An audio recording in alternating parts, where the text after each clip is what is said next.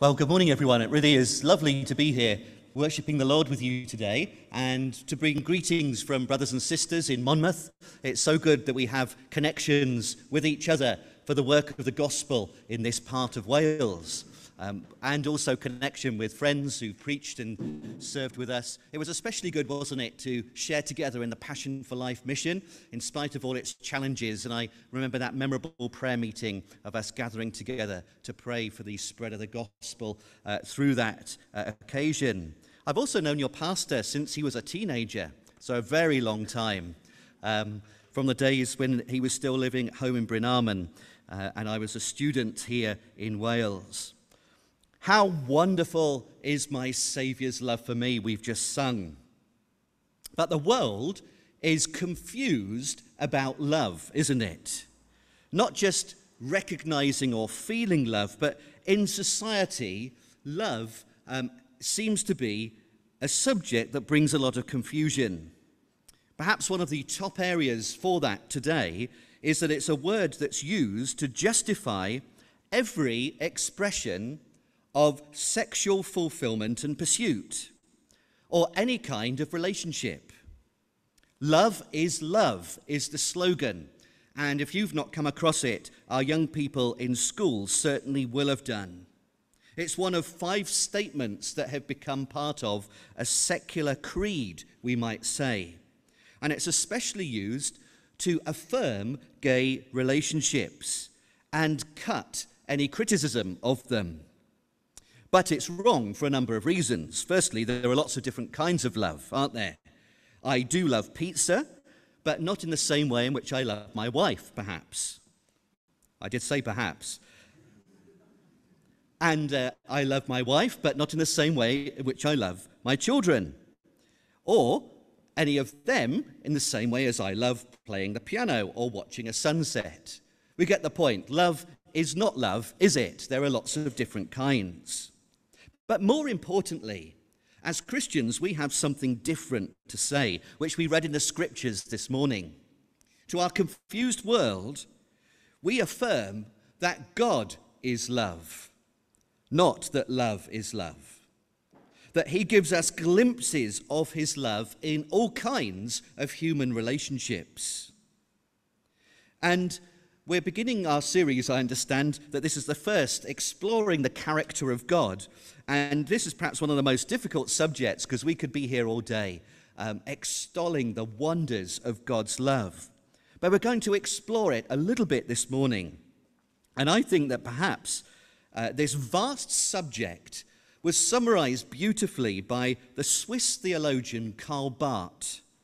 He had a brilliant mind he wrote volumes of theology, and he was once famously asked, after a very impressive lecture that he had just given, what the greatest thought was that had ever crossed his mind. Have you ever felt like that, asking, you know, some of the brainiest people in the world, what, what is the, the most sort of aloof and highest thought you've ever had? Anyway, he was asked this, and by this time he was an older man, and he paused for a while thinking, What is the greatest thought that's crossed my mind? And then he answered and said, Jesus loves me, this I know, for the Bible tells me so. A brilliant theologian says that is the most uh, incredible and awesome thought that he had ever found had crossed his mind that Jesus should love him and that the Bible makes this clear. And the Bible tells us that love comes from the very heart of God, reaching to you and me, from the love that's in God's own character between the persons of the Godhead. That God, in his being, is love. This is a distinctively Christian thought because there are no other gods out there in any of the religions of the world that have a God who is love in his very nature. They have gods who might be loving in different ways. But what did God love before the world or universe was made? He was already a perfect being of love, the Father for the Son, and the Son for the Father, and mutually one and another with the Holy Spirit. So God doesn't need you and me to be able to give and receive love. It's part of his nature. And theologians call this uh, a communicable attribute. Do you like fancy stuff like that? It means that we can actually experience and share in this love as opposed to some as- other aspects of God's nature which are incommunicable, like He is all powerful. He doesn't communicate that to us. None of us has all power, thankfully, or omniscience and omnipresence and things like that. Now, if there's one thing that most people know about God, if they have the faintest idea of Him, it is that God is loving. In fact, there are surveys that demonstrate that. Uh, uh, usually, in surveys, even in Britain today, uh, up to about half of those asked whether they think God is loving will say they do believe that He is loving. They'll have more doubts about whether He is all powerful or things like that. But generically, there's this general sense that if there is a God, He ought to be loving and He would love us. In fact, it's little surprise to many people that God should love us because we feel that actually we're quite lovable. I'm okay, really. And it's not surprising that if there is a God in heaven, he would look down on me and he would love me because I am actually quite nice. Well, maybe I'm not that nice, but at least I'm not as bad as some other people. So it's me that he might love. And uh, he would pat on me on the head and pretty much agree with everything that I want to do. Love doesn't fill those sorts of people with wonder, surprise, or amazement that God should love me.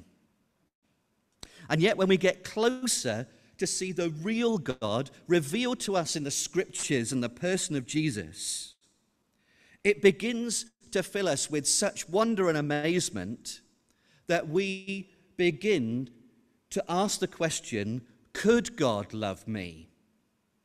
Because once we get closer to the scriptures and to the truth, we realize actually we're not very lovable at all. We have all fallen short of God's glory. And this generic love for God's creatures in creation is not what we were made for, this general sense of feeling that God might be loving and out there somewhere. We were made to have a personal certainty of God's love for us this character coming through from God's own heart, does it reach me? Does God love me? Does this part of his character reach me? After all, he is so great and powerful, we start to read in the Bible. Why would a supreme being, especially an all knowing being, love me? Why would he be interested in me? Why would the one who puts stars and galaxies in space, the more of which we discover year by year with the advancements of our telescopes and satellites, he's designed the makeup of atoms and subatomic particles, and yet somehow or other we want to say he loves me. And we also know that we are not so great. If God had any inkling of what I was really like on the inside, not the face I show to others, but my thoughts, my words. There are some horrid things there, aren't there? Why would he love me? Heidi Joel puts, uh, a writer, she puts these two things together as she recalls a conversation she had with a uh, friend who had rejected the Christian faith. And her friend's argument was this Do you know why I don't believe in your God? It's because of this. Why would the God of the universe die for us? We are just ants. We wouldn't die for an ant. So why would God? That lady had actually hit the nail on the head. Why would the God of the universe die for ants? To see ourselves as sinners and know we are loved like in that opening verse, God shows his love for us in this. While we were still bad, while we were sinners, Jesus died for us. And this is why John, when he writes his letter, he writes wanting us to know God's love. In verse 15 and 16, we just had, uh, which was uh, read for us, uh, just to pick up on this again, he says, Whoever confesses Jesus is the Son of God, God abides in him and he in God, and we've come to know and believe the love God has for us. Look, we've come to know it and believe the love God has for us. God is love, and whoever abides in God, uh, so in love, abides in God, and God abides in him. It's echoed in hymns, so many of them we could have chosen to sing today. To explore this character of God, therefore, this morning, um, and to perhaps make this vast subject, which is wide as the ocean, high as the heavens above, and deep, yeah, uh, uh, it's, it's, a vast subject. Um, I'd like to draw just three points from this passage to help focus our thoughts this morning on this incredible aspect of God's character, which permeates all the other aspects of who He is and what He does. We're going to look firstly at God's nature and how John describes Him as God is love. Then we're going to take up the phrase of God's actions. This is love. John tells us how God's character is worked out and how we can actually see it.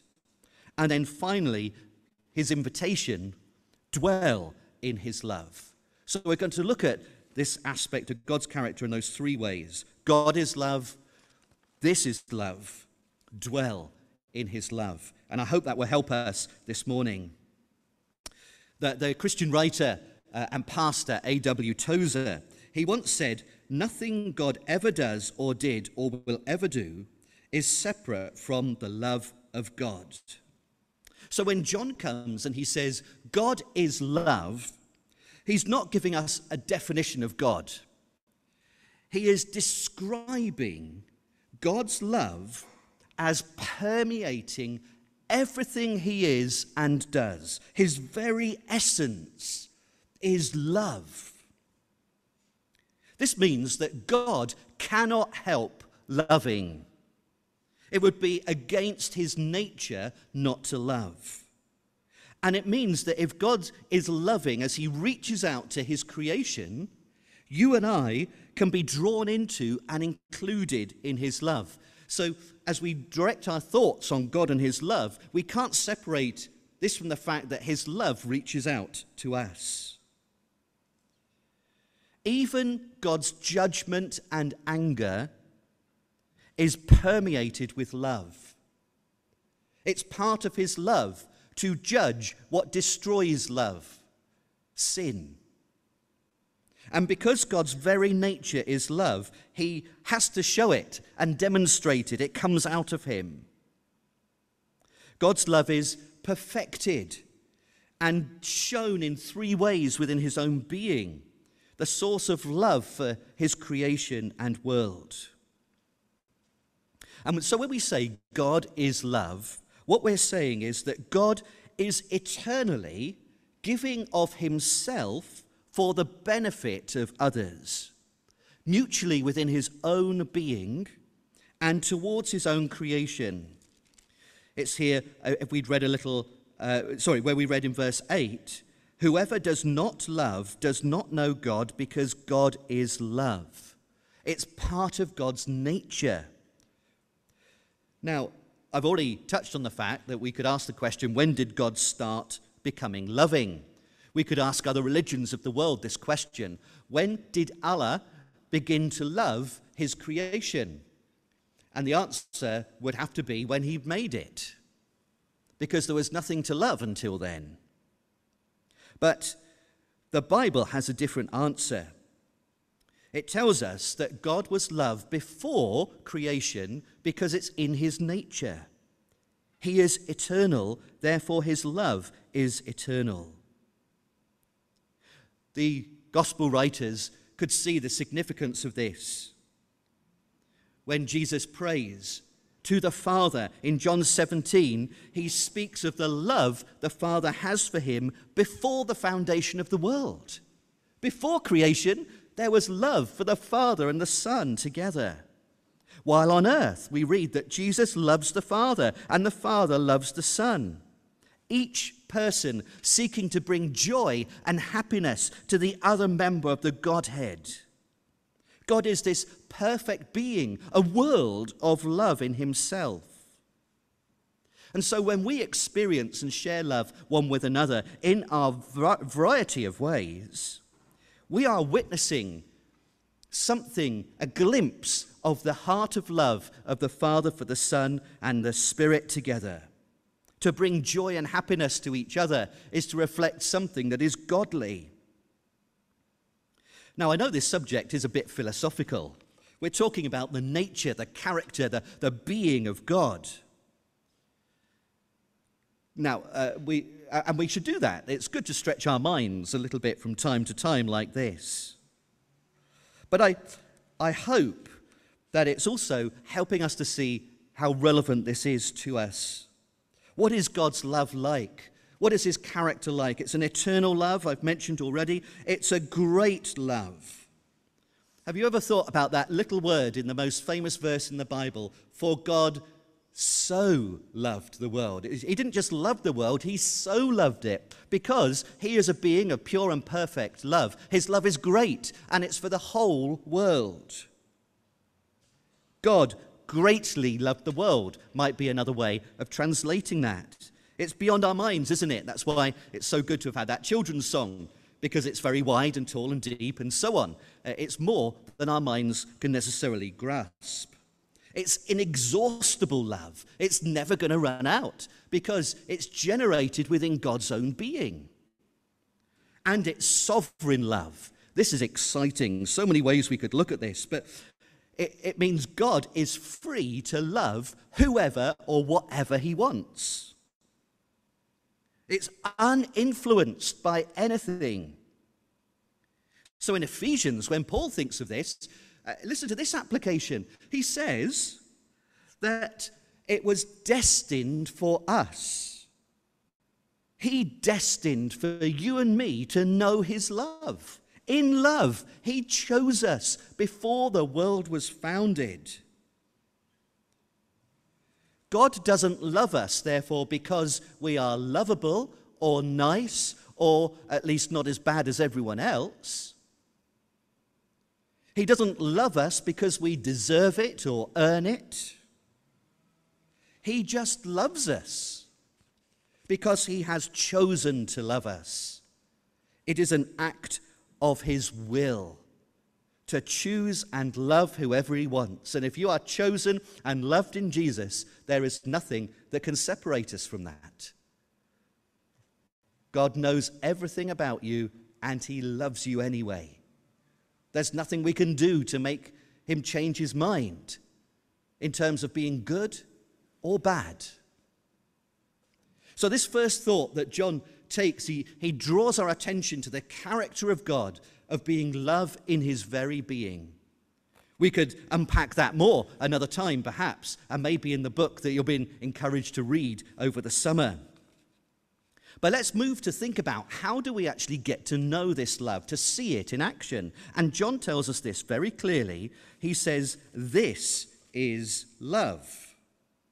And uh, when he, he says this in verse 10, this is love, not that we love God, but that he loved us.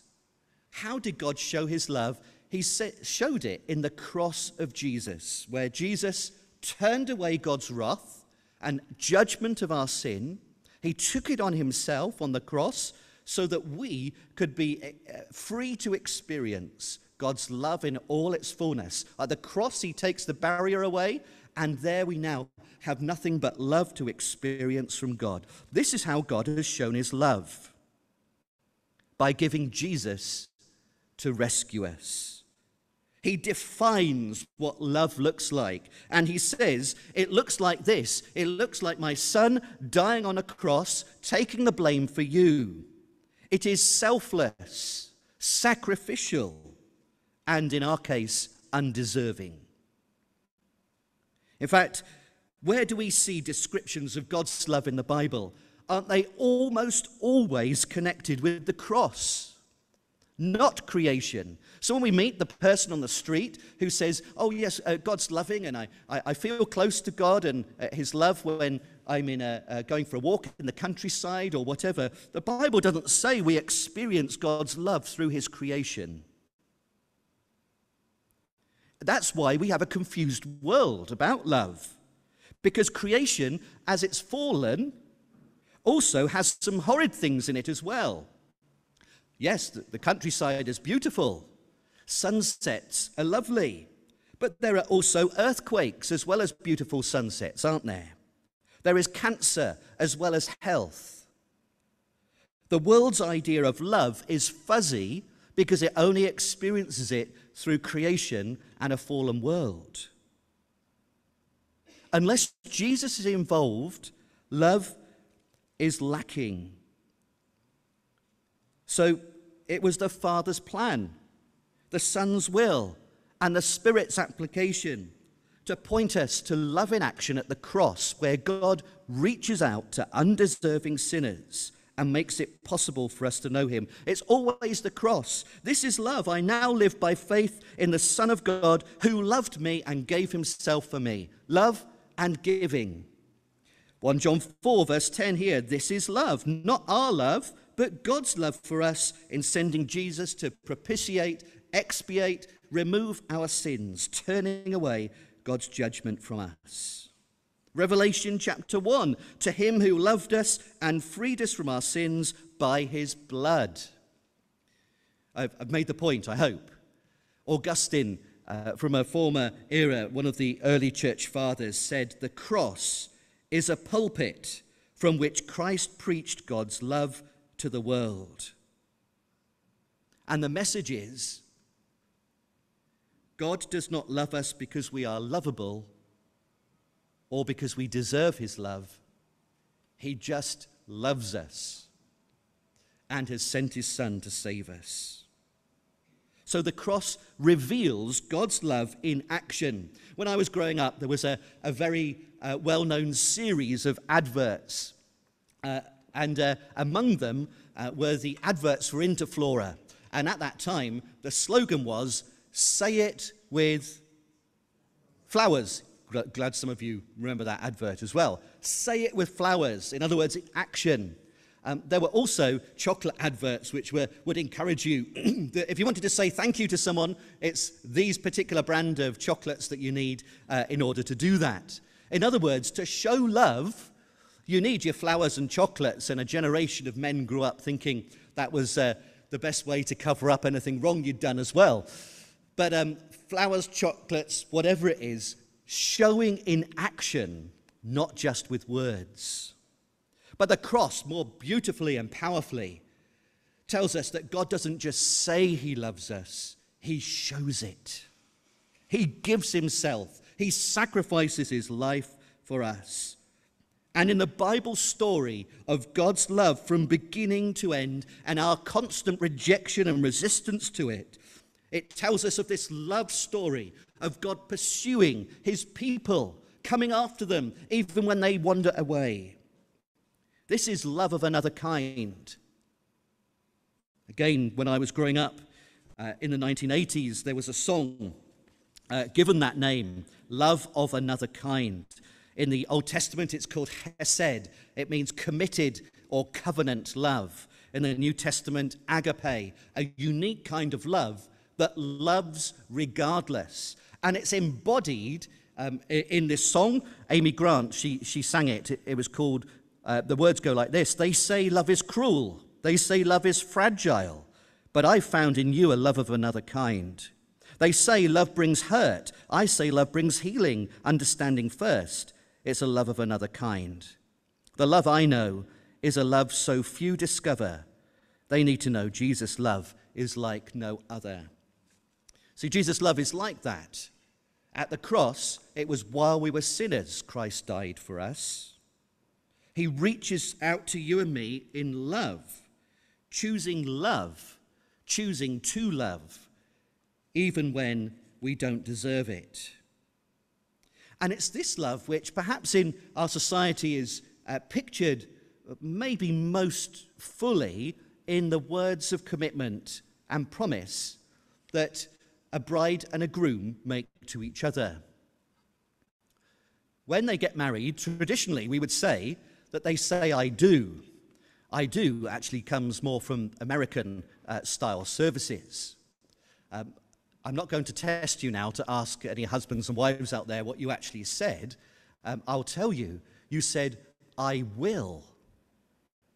And the essence of the wedding service is when your partner, your spouse, when they are wonderful and lovely, will you love them? And the answer is yes. In health, in good times. And what about when they are unlovely, in sickness, or when things are difficult or poor? And the answer is I will. Not I feel, not even that I do in this moment, it's I will. That is biblical love embodied in the wedding service. Biblical love says, I will love even when you're not lovely. That's what holds marriages together. Saying, when things are not good, I will love, because that's what God's love is like. At the cross, when I was a sinner, when I was unlovely, Christ died for me. I will, says God. And Jesus in the garden says, Your will be done. Now, uh, we've looked briefly this morning at God's love. Uh, God is love in his being and nature, his character. He demonstrates it most clearly and fully at the cross. And if any of us wonder if we are loved, are you feeling rejected this morning? Are you wondering if you're loved? Do you think that no one cares about you? Look at the cross. Look at Jesus. He loves you.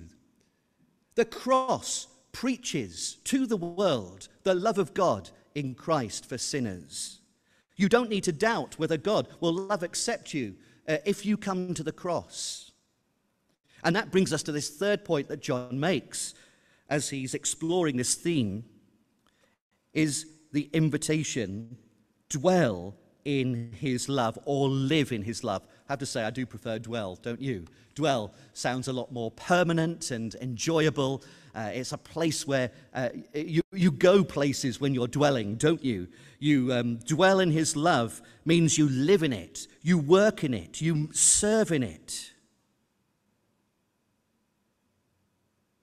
So when someone comes to the cross and they belong to Jesus and they, they, they open their heart to him, the Christian can say, God loves me because he loves his son.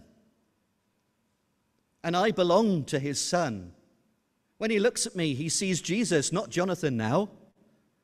So I have no doubt about God's love for me because there's never going to be anything that stops the Father loving the Son. So if I belong to him, then nothing will sever his love from me. This is so different to the world's idea of love or progressive liberal Christianity, which says God just loves everyone and everyone's going to heaven in the end. It's in Jesus that we are loved. It's in Jesus that we're rescued. It's in Jesus that God loves us with a saving personal love. And John says, Will you dwell in his love this morning? Is that where you are? dwelling in God's love. To me, that means it's like a precious jewel in some ways that I'm going to think about and look at and take up and turn around and think about. It means that I'm going to, uh, wherever I go, I'm taking this love with me. We're invited to live in it. We can say no to God's love and we can distort his love.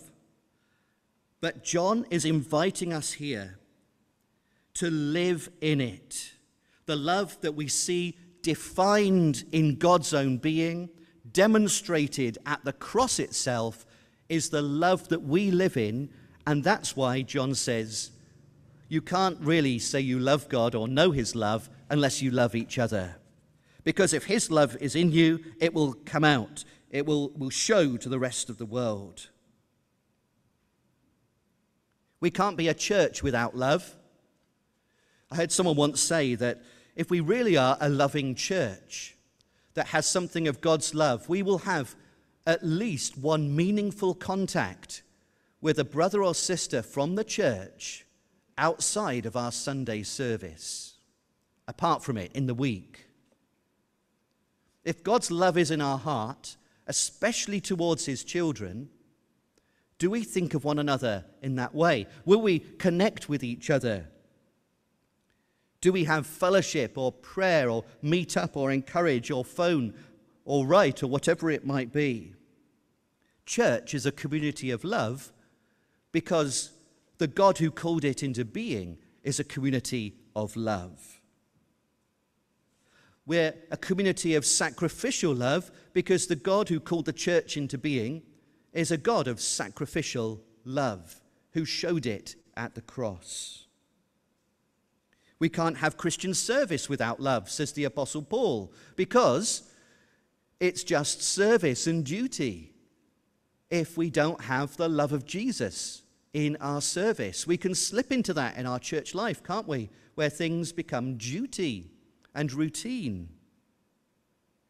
We can't have real mission without love because it was love which prompted God to so love the world and send his Son. So this love will reach out to a lost world. We don't have the love of God if we have no heart for a lost world.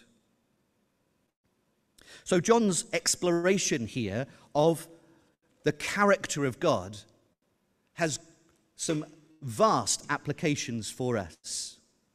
If God in his nature is love and he has shown it at the cross, he is inviting us to experience it and sending us to show it. And this morning, I have to ask you, therefore, are you someone who knows the love of God in Jesus? Do you know that you're accepted by him because of the cross?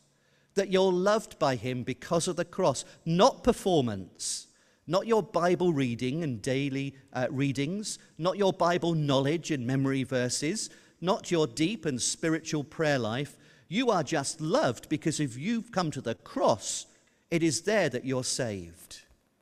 I hope that you do memorize Bible verses, read your Bible, and pray daily and that you do that because you love the God who first loved you. But this morning, come to Jesus if you haven't done that. Experience his love shown at the cross and know that you are safe in his love forever. Then, secondly, if you do belong to Jesus and you have this assurance of his love, are you sharing it with your brothers and sisters in the church. That's John's application of this passage. He's not interested in philosophy, he's interested in community, about brothers and sisters bearing with one another, forgiving, giving themselves for each other. And then, th- third, thirdly, are we showing and sharing that love with the world? Not just with our actions, but our words, to make Jesus, the King of love, known.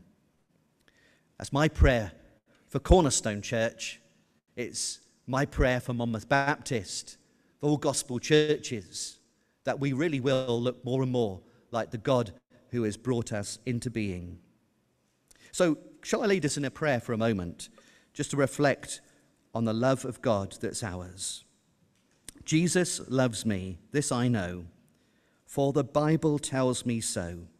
Lord, we want to thank you, O loving Heavenly Father, for drawing us with your everlasting love. Thank you, Lord, that when we get it right and when we get it wrong, your love at the cross is always the same.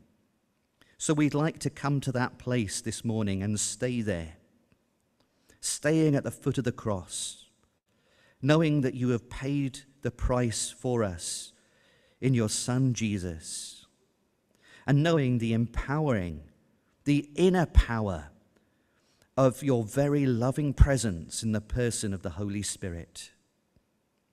Lord, if there's anyone there this, here this morning who is unsure of whether they are loved by you, lift their eyes to the cross to see Jesus afresh, away from themselves and to see what you have done. And Lord, for us, those of us who've perhaps uh, found that it's become ordinary and everyday, we've become complacent about your love. Help us to be thrilled again that you should accept and l- love us in him. And Lord, I pray for the church here and ask that love will characterize their work and life together, their worship and witness to our love-less, confused world today. Thank you that we can affirm God is love. Amen.